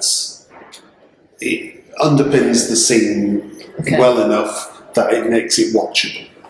the problem is often they get so attached to those temp tracks because they've edited the film and over months. Mhm. So in the end, that's the only music they can hear. So they so that they go to the composer and say, "This is the music I want," But what, what and they have to do a is that a click track or is what's a what's a temp track? How would you define this? Well, when, when they're editing the film, um, they add music, usually from other films, I see. to uh, to to make it a more watchable thing. To give it Ah, so you were not joking. It's really okay. Ah, is that what, what they do with the so room? so often they will come then to the final composer and say, "This is Just the reference. which- This is what we Ah, like. This I had is no what we idea. I had no idea they were doing this. Film, make, film, directors. Yeah, that's quite common. Ah. Yeah. So, so it doesn't give you a blank slate. It doesn't allow No. you to watch it and perceive it Yeah. and add your voice as a composer. And how do you explain that to your clients? When- Oh, they understand it. It's Oh, just they part, It's part of the job. absolutely part. because of it's like really a, customary practice. Okay. And uh, there are composers who will not do that, who are not interested in that, who will say, uh, "Find somebody else," because I do what I do. I don't copy, and it's nearly always either Max Richter or Zimmer. Uh, Yeah. It's like that's not what I do. Probably you and Jóhann Jóhannsson wasn't doing that as well because his music is so different He from was- everything else. Well, he, he, he'd done so much as a recording artist before he came to so film. he, he had his So he voice. already had his own voice, and people knew what they were hiring. Mhm. There are very successful composers who you would struggle to find a common thread through all their work because they're quite happy to have somebody say, This is what I want, I and for them to go away and do it. Ah. uh, we publish Nils Frahm, and he's very popular and people want him to score things. What has he done, for example? Sorry. Well, he did his, his he did Victoria, which was the Right. German film, which was all one take, Oh, yes. Uh-huh. and he wrote a beautiful score for that. But on the basis that he was allowed to just write what he wanted, Mhm. and it wasn't for a director to say, "Well, I like that, but make this more noisy or that more dramatic," or what. He just said, "That's what I do." Mhm. and that's one. And Matthew Herbert is another one. I think he just he has a you have a discussion with the director, a creative discussion, but ultimately you hope he he or she is trusting you Mhm. to go away and provide what you, what you're supposed to bring to. Is Matthew Herbert part of, part of your roster? Yes, he is. Yeah. What, did, what has he done, for example? Well, he, he did Fantastic Woman. and Oh, Gloria yes, Bell, sorry, and okay. yeah, he, he did those. What a, a touching film, A Fantastic Woman. Yeah, very touching film. a, a beautiful, simple music which was just. I, it's not the first film he'd done, but it was the, it was the one that kind of launched his career as a film Yeah. composer Mhm. because he didn't try too hard. It's very subtle. Mm, yes. It's, it's, a, it's a beautiful score. There's not a, a massive amount of cues. And That's the other. That's the other thing they have to learn, which is a, a bane of modern filmmaking that they want music over everything. There's just a shit ton of music. Okay, And actually, actually, empowering. yeah, and, and, and the skill is saying that is what they call spotting. When they watch the film, and say we need music here, we need music here Ah, that's a real art to decide. Okay, this is fine. You, you, you, you see so many things where it's two people having a conversation with this music underneath it. It doesn't need it. You've got to. right, right, right, yes. You've got to let it breathe and Yeah. let it. It's, it's actually quite unnerving for someone who is viewing a film when you've got like loads of violence coming out and when you're just trying to focus on the dialogue. Yeah. um, is that is that something that um, this sort of constructive dialogue between the director, the editor, and the, uh, the composer? Well, is this is what that this is what you're hoping for. This is the ideal situation. but uh, is that something that you are kind of overseeing, No, or, or you no, uh, no, you- you- mentoring them a bit, the composers in this, if you have a question and want to, you know, tap your brains about something, about how to find the no, right. not, not. No, that's not something you get. No, I think Okay. that it, it does happen, but on re- but usually if they're having some Sorry. problem with the production or whatever. Yeah. But usually once they get into it, the relationship is between the director and the composer. That's it. We don't get in between that at all. Okay, so they're very, really like fully formed professionals with uh, Yeah, with- absolutely, with yeah. film composers. You, you, you, yeah. You have to accept that you're not some mad genius because everything rests on this. You can't just say, no, I want to do this instead. You, you have to work within certain parameters, probably, but that comes from the conversation with the director. And hopefully, within that, you just get them to trust you Yeah. and back off, and you go and write your music. Yeah. That's the ideal. In commercial, in commercial TV, etc., that doesn't really exist. I don't know if you well, Ray, you should have a time. Yeah, yeah, absolutely. Yeah, I I don't know if you've seen the fantastic retrospective of uh, Stanley Kubrick's um, films at the um, Design Museum. I haven't been to the Design Museum. I still want to. I must. I actually uh, I enrolled myself as a, as, a, as a, an annual member because that, that was the deal, you know, since they were sold out of tickets. I so wanted to see that exhibition. I said, fine, I'll pay the 60 quid to, um, to become an, a, a, Yeah. a member of the Design Museum. And so I saw this beautiful exhibition in which it was mentioned several times that um, Stanley Kubrick mainly actually shot some masterpieces, I think you can really say. Oh, without question. Yeah, I mean, everything he did was outstanding. But he had a reputation for taking takes after takes after takes after takes to the point that sometimes it was just exhausting the, uh, the actors.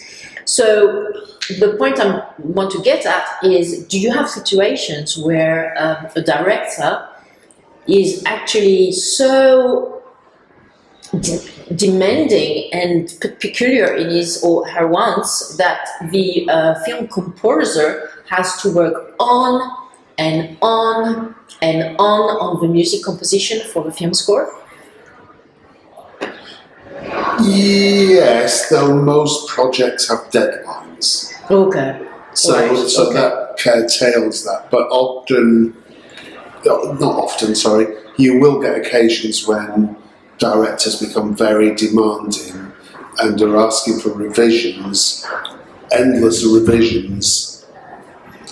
Actually, it's because they can't articulate or don't have the musical knowledge to be able to direct somebody. Explain what they want. That's what they. That's the problem. okay. Uh, so we've had people who've walked away from projects because it just, you're, this is never going to happen. This is we're never going to reach that point where because that person doesn't know what they want. So you're almost Right, right. You can end up writing music randomly. What about this? What about this? What about this? So how do you how do you uh, sort of like structure a, film director who is, is going a bit uh, uh, you know avok like this? I mean, who is you know in uh, in all places? How do you structure him? Do you do you come to the rescue of your film composer with this situation? Uh, there's, there's, there's usually a point where the composer says, I, I don't think I can do this anymore. right. Oh gosh, or that's, they're just already so that's already too far. Too, too, too, so, too yeah, they've become so unhappy and so stressed, and they've lost any confidence that they can give the director what they don't know that they want. So this does occur. So they walk away. They walk away. My gosh. So they pay, they work like this and they don't get paid on the. Oh, and that's usually part of the contract. They use one. Uh, yeah, there is there are kind of increments. Okay. Yeah, you've been here for so long. Okay, good. Absolutely. Okay. Wow. It's I hope- very rare you walk away with nothing. Yeah, I hope. Oh, yeah, and I hope that situation I just mentioned doesn't avo- uh, uh, happen too often. But um, Well, no, again, because deadlines yeah, mean you right. can't do that. It has to be finished. Yeah. It has to be broadcast. It has to be released. So yeah, Fair it, that kind of stops that. Uh, but usually it's because of a. It's ninety percent of the time it's the director's problem, not the composer's, Okay. because they just don't know what. Yeah, but you know on which side you are. I mean, that, that, that's, that's so is that really a fair? that underpins. We, we talked earlier about advertising. Yeah. They send you a brief and they say, okay, well, here's the film, and what we want is music that is, and then the list of adjectives, and then sort of like, and then a reference to a, a pop track. Gosh, we still do this. My gosh. But, like. but by the time you get to the end of the project, what they end up with bears no relation to their initial request. Well, just as well, because then they won't get sued. Yeah. okay. Oh, gosh, okay. okay. And so, actually, on this note, um, how would you say your sort of revenues are being split uh, between the um, the film industry, the gaming industry, the advertising industry? Um, I suppose the advertising industry is, is a very important chunk of the revenue. Well, they- they usually have generation. decent budgets. Okay, yeah, still, still. Still, they usually are not as they used to be, but they still have decent budgets. Is that for TV ads? Yeah. Yeah. And, and cinema ads or whatever, but they, they still have a decent budget and they kind of know what they want. They're fairly sure Okay. what they want you to do, Mm-hmm. and that's fine. And there are composers who are incredibly adept at that area of the business, but for whatever reason, they can't transfer those skills to a dramatic TV series. They're really good at writing to brief. Okay. Uh, and we and we make money from advertising. We make uh, money from uh, TV, particularly TV series, TV series. Okay. What for the bibs? BBC, ITV channel, or whoever. Oh, okay. Uh, Fantastic. film we love doing, but we rarely make any money from because we only take our cut after they've finished recording. By which time, the British well, I was reading recently about the French film industry, which receives 250 million euros a year in subsidy, and Macron wants to increase this. Of course you does. and yet. I can't remember the last French film which transcended the domestic audience. I know. It's a lot of shit which is becoming uh, coming out of this market. Yeah, Yeah. because it's almost too easy. Yeah. Here- Here's the money, go and make a film. Yeah. Where's the where's the But you know, I'm actually writing an article starting on Monday, but then I have to stop because I needed to focus on my client's work, but uh, I'm, hopefully I will finish it by the end of this week. One thing you have to bear in mind though, all this soft money, but even the financing coming from the TV channels, French TV channels, a lot of that is being siphoned into paying the um, the actors' salaries. The French actors are so greedy, apparently, Right. and so there's hardly.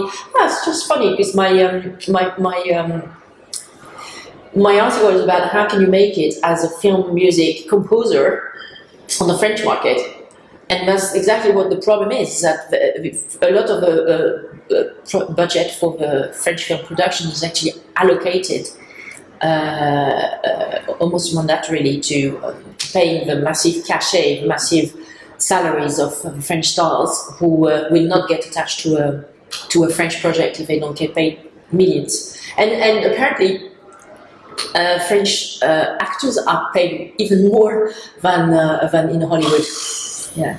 Well, as you were saying, most of these films never go beyond the. Um, most of them. There are a few exceptions, like uh, you know the um, the film about the two lesbians, um, the Blue.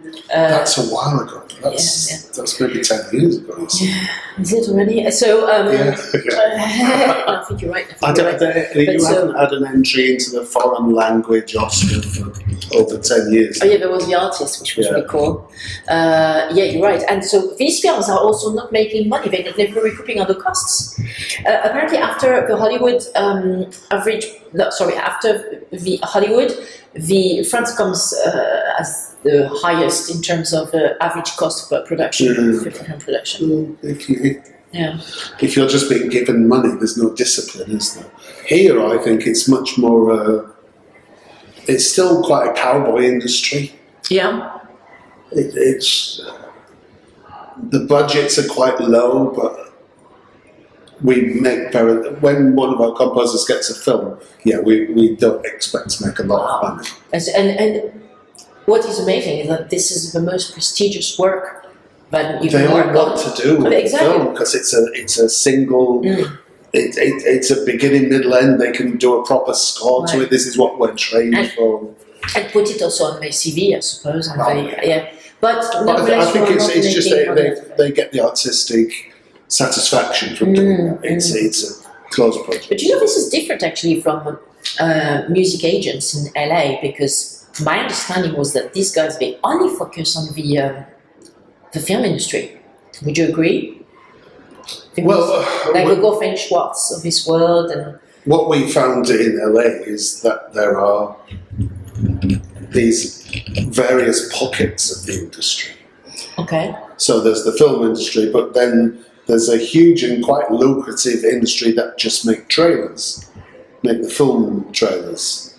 Yeah, I, well, uh, we came to this just over 10 years ago, I think, and suddenly realised how much money they were spending on trailers, and, and they would, uh, what's the word, they would commission people to write a bespoke which uh, which probably had more money attached to it than ninety percent of British films. They were Just on the spending more on trailers. Yeah, yeah, well, marketing budgets are Yeah, it's, it's, yeah, because they know that they're going to make the money in the first weekend that the film comes Yeah, out. yeah. And so if it's a blockbuster, you can see just after one or two days it's been released whether it's going Yeah. to actually make it or not. So that's why they're just really capitalizing on. Um, yeah, on, I, I mean, sorry, they, they're just really incurring a lot of costs, uh, marketing costs from the outset because they really want to capitalize on the first weekend. That's actually explained quite well in the uh, Anita Elberse book called Block, Blockbusters. Okay. so, um, right, okay. Yeah. So so there are all So these, it's a lucrative business there are all these pockets of the industries within LA. Yeah, Um, you know, they make uh, TV series on an industrial scale. A TV season has 22 episodes. And it just, but that's about a team of people writing the cues in advance and then them just fitting them in where they want them. So that you're not even writing to picture, you're writing a library of cues which the editors then place for you. So the role is different. but is that coming from a music library or is it like commission work? No, they commission somebody They to write. So all the cues have a similar theme and an instrumentation, and it identifies that program. But it's just almost music for people walking into a room and then a cue for them walking out of the room. And it's maybe 15 seconds. duh, duh, duh, conversation as they walk out. Gosh, So there are all, uh, they, they, yeah, it's this industrial process by which they produce music. Mm, I see what you mean. So it's more like a commodity. Yeah, It's more much. commoditized, but then You're, to you're not spending time watching a scene thinking about the emotions of the characters and how you can express that. It's it's just Yeah. we want to li- you to write a library of music Yeah, yeah, for yeah. this series. But it is a cash cow. Oh, God, Like yeah. they have is always cash cows. While in in the UK, perhaps where the advertising industry is also like in London, this advertising industry is Yeah. very prominent. Uh, so I guess that, that this is perhaps where the cash cow is, I suppose. and it's, Um, it's why we uh, expanded into after we'd become a composer agency and then a publisher. Once we were a publisher, we realised we could publish anybody. It's the same principle. Okay. Um, so then we started signing recording artists because then you could, their music is attracted to ad agencies for placement in advertisements. Recording artists, what, what do you mean by so people who make their living, like Nils Frahm, from releasing albums and touring. And if you publish them, then you sync their catalogue into advertisements. Right. Or, a bit, a bit into like, film. oh, sorry. film, yeah. like a bit like woodwork is doing, and like, yeah, absolutely. Same, same principle. Yeah, yeah. absolutely. Yeah. Okay, so that means that you've got several avenues of where you can generate revenues. Yeah. Uh, yeah, with a sync, with the uh, commission work coming from the ad industry. Okay, what about gaming? Is that Well, that's interesting because we're, we're still seeking a path into gaming. Um, games, uh, even though they're very technologically advanced as an art form, if you, if you compared it to film, I think they've reached about Charlie Chaplin stage. so they're still not as sophisticated as they might be in certain respects. right? Indeed. And there aren't many games outside of perhaps a few independents which have interesting scores.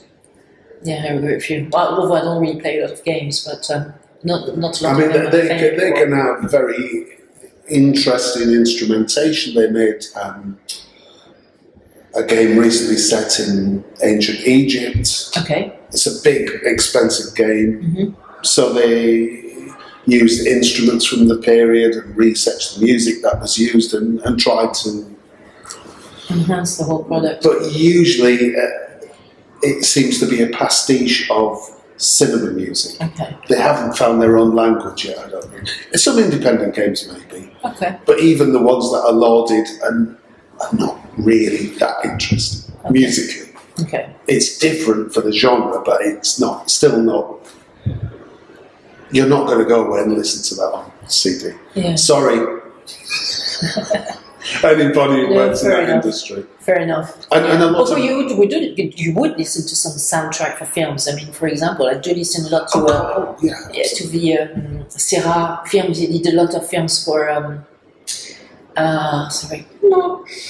Uh, yeah, Luc Besson. You know, Oh. Luc Besson. He worked a lot with Eric Serra, so I do have a lot of the soundtracks of his of, uh, of Luc Besson's films, and also um, yeah, some other French films I listen to the soundtracks of Uh, very often. And Spotify, but Spotify, fantastic. You can find everything. Spotify. Uh, Bruno Coulais, he's my a great French composer. Okay. I don't Um, know him. I'll I'll Google him. I mean, on Spotify him. Okay. but yeah, yeah. I, uh, the gaming industry, I, I, it, it's getting there, but as as a, they still haven't really transcended making games which are moving, which is cinema that you control. yeah. It, it hasn't found its own purpose yet. It's coming. Mm. It's coming. I've seen some things they have in development which Yeah. which are not about narrative. They're about something else entirely.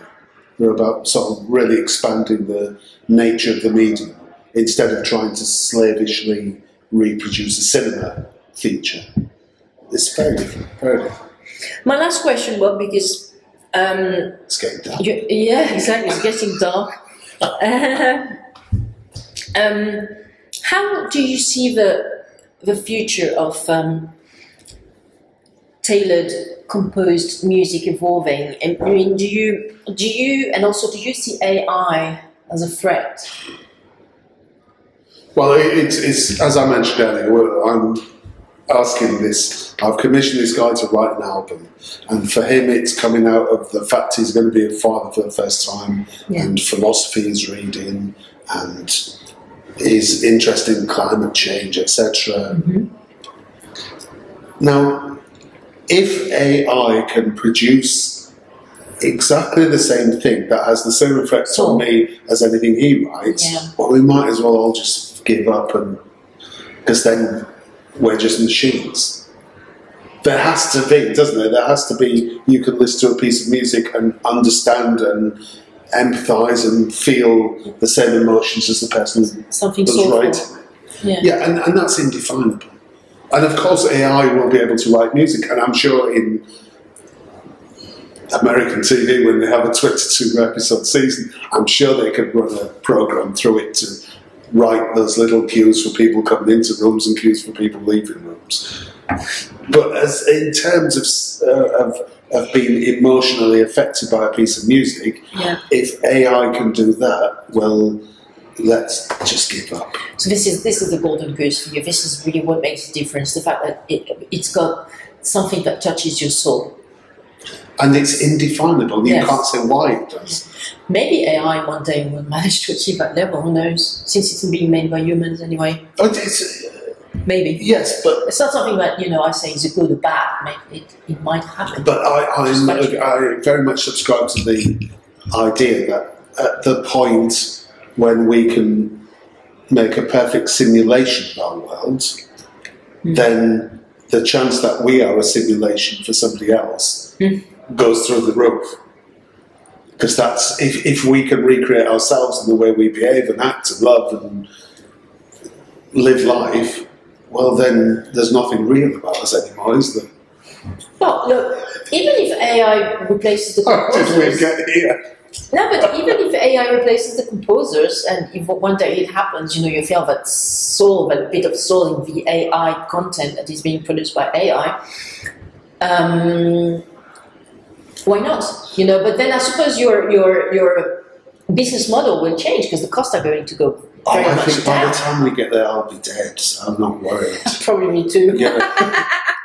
But, um, it's, it's sort of like some modern films. They've started to um, recreate living actors, but as their younger selves. Oh wow.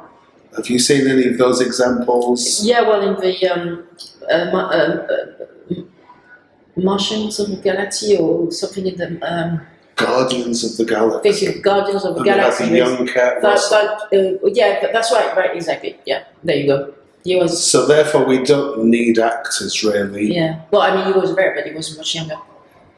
And I'd like to think that a computer can never understand the situation and absorb it and decide how to react. But of course they will. But music is an abstract art form. It comes from who knows where. Yeah, the source. And uh, I'm sure machines can write music, but music that really. Hmm, I, as you said, yeah.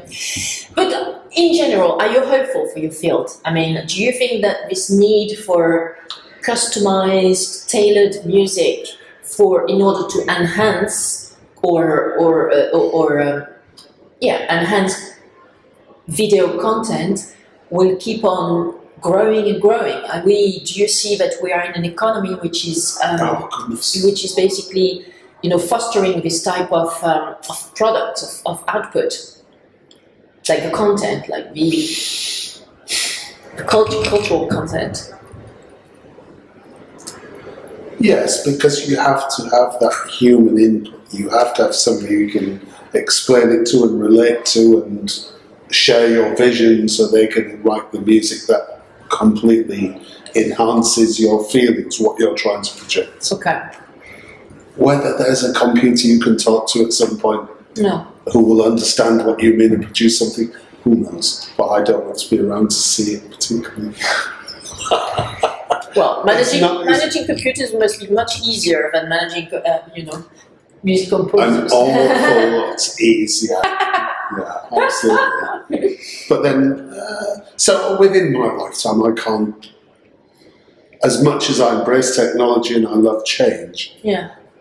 there has to be the, uh, to be able to commu- communicate with a, a wide audience.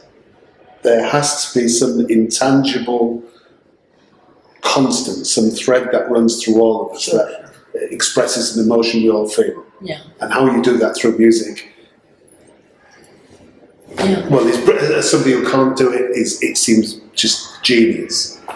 But do you think that this need for original content from from video producers, people who produce video content, will keep on growing? And, and I think we, we've been through phases already. When, Okay. um, at the moment, it seems to be particularly within sync. There's a great uh, enthusiasm for bespoke composition rather than to sync something that already exists. interesting. Okay. What in the art business or? We're in the art business particularly, but that ebbs and flows. It will go back to all they're interested in is pop catalogues. And that kind of relates to the strength of the pop market and, and how pervasive that is. And so, hey, it ebbs and flows Yeah, right, all I the see time. what you mean. There are some trends. Interesting. And, and, and if it came to the point where they could, you had an AI program which could score your film, then enough people would say, I'm not doing that, I want a human being. yeah. So it will always exist. You see what I mean? Mm. It will always exist. But Fantastic, the, that's the good. industry ebbs and flows. You never know. Okay. Yeah. We, st- we started, when we started, sorry, I'm rambling. When we started, it was all classically trained composers. Wow. That They were the people who knew how to score. hmm And then over the last 20 years, that's changed enormously when now they will approach somebody who writes pop music and ask them to score. They don't know how to and they need help, but they just want that sound. They just want that, I see. So are these people able to actually write music? Those pop? not always. No, not always. I've been They kind. use they, they use their ears a lot. Yeah. Wow. Okay. Awesome. Yeah. So the, the trends, the, like the, the tastes, the music tastes are Yeah. evolving for the content. Well, in, in the sense that uh, contemporary classical or whatever you want to call it, Yeah. it is it certainly has a market from mainstream largely uninteresting again apologies music like Einaudi for example which is fine it's melodic it's What's what's the name? Einaudi Ludwig Einaudi is is super popular and is always top of the classical charts Okay.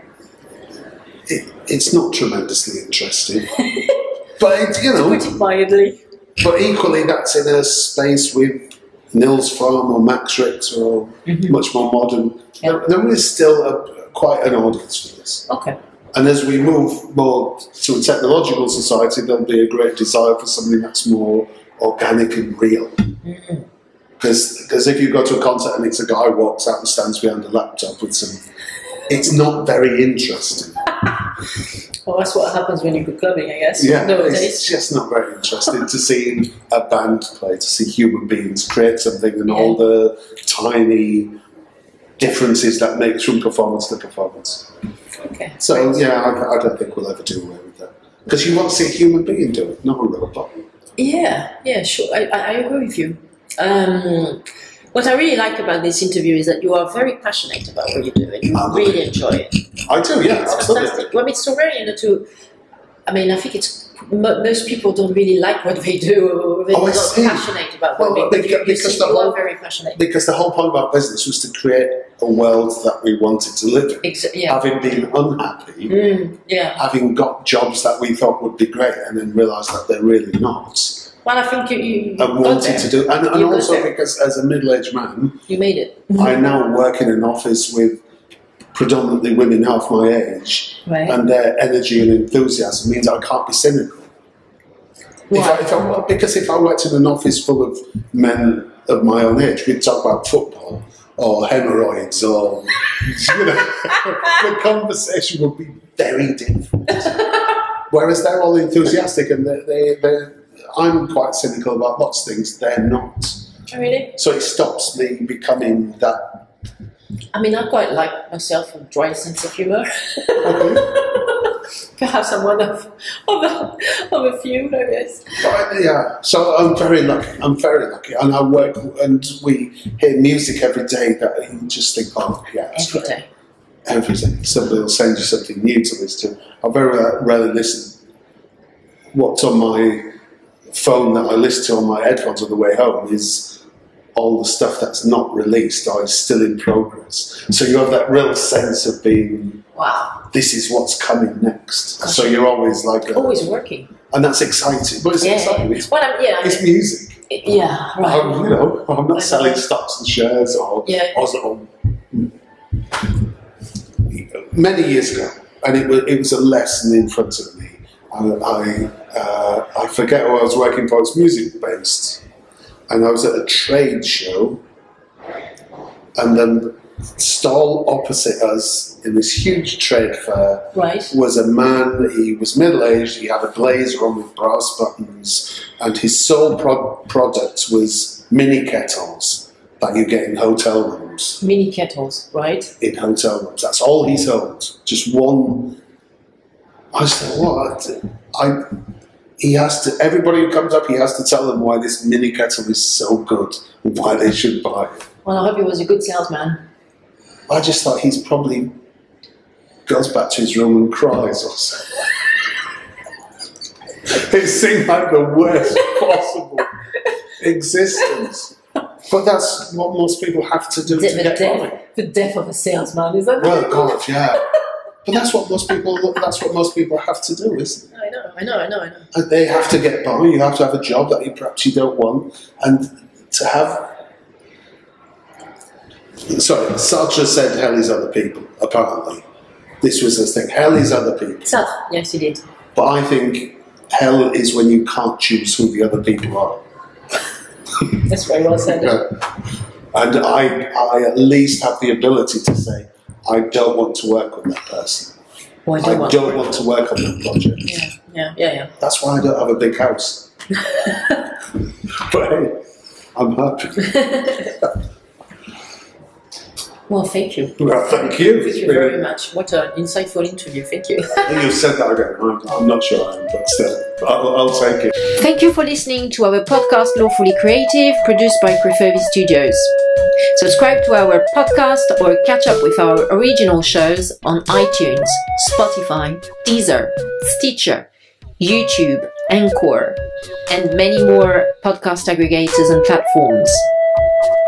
Please leave a review and rating about our podcast to encourage others to discover our curated content. Thank you!